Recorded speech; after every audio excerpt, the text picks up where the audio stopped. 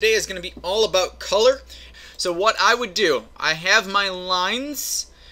This is the one that has already been expanded, by the way.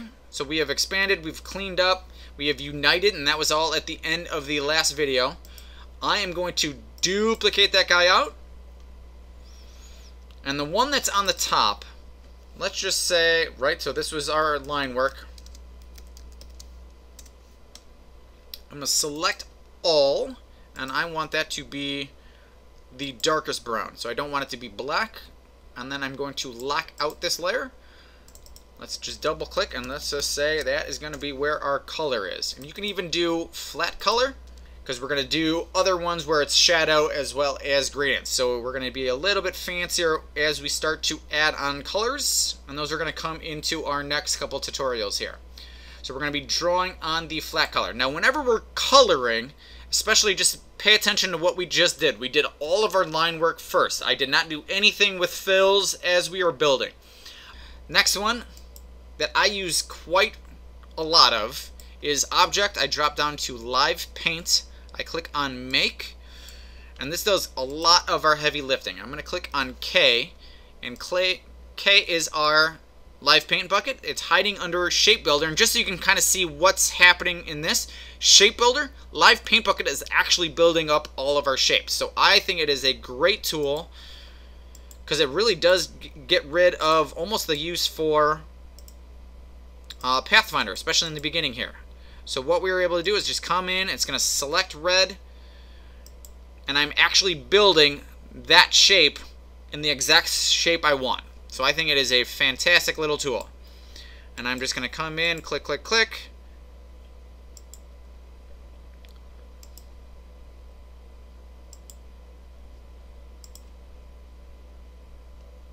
I want that one to maybe be dark. Dark. Let's do our face color.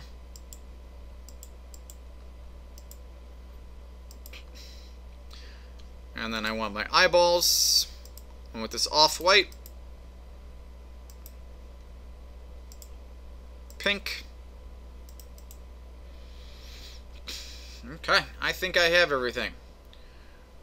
So with this, we just created a bunch of shapes. Literally in the exact shape we want. So I think as soon as you guys go through this one, you are really, really going to like it. Now the reason you would do both, why we would have the shape builder or why we would actually have the live paint bucket as well as the blob brush is if anything is open so if you have a really really loose drawing and this might move more much more to the, your own drawing style if things are not enclosed it's not going to want to do live paint for you. So just be aware that I can always do hey I can do just the blob brush in some of those areas that are not enclosed and then I can always come back and do all of the heavy lifting with the, the live paint bucket. So I think that is a good way of doing it. So I'm going to select everything. We do have to expand when we do this. So notice what these look like, these little boxes. It will be yelling at you quite a bit. So a big mistake is people don't finish their live paint bucket. The next thing they don't do is ungroup.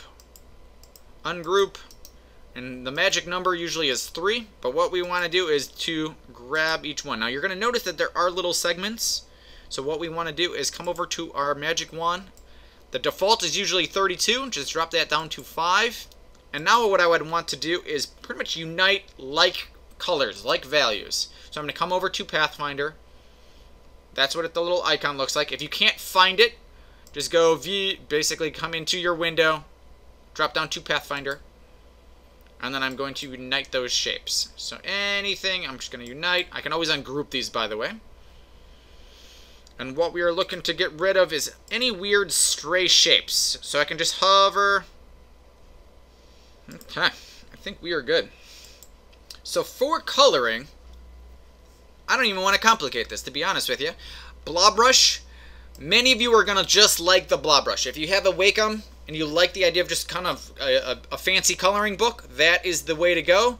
Just remember to have your line work above and locked out, and your life will be very, very easy. It's going to be a little bit sloppier with those edges, but really, for the most part, nobody's going to actually see those edges because you're going to have the line work above. If you like the idea of Paint Bucket, and if your artwork really does have a lot more with enclosed shapes and closed areas, then you're really going to like the, the live Paint Bucket, and it's just going to be a super fast way of doing it. So let's just save, save, save. This one's going to be a quick little demo, and we're going to get into all of the fancy stuff later. So what we're going to be moving on to is our shadows, adding value, and then we're going to be moving on to gradient. But uh, we're going to have some fun on the next tutorial. So save up, and I will see you tomorrow.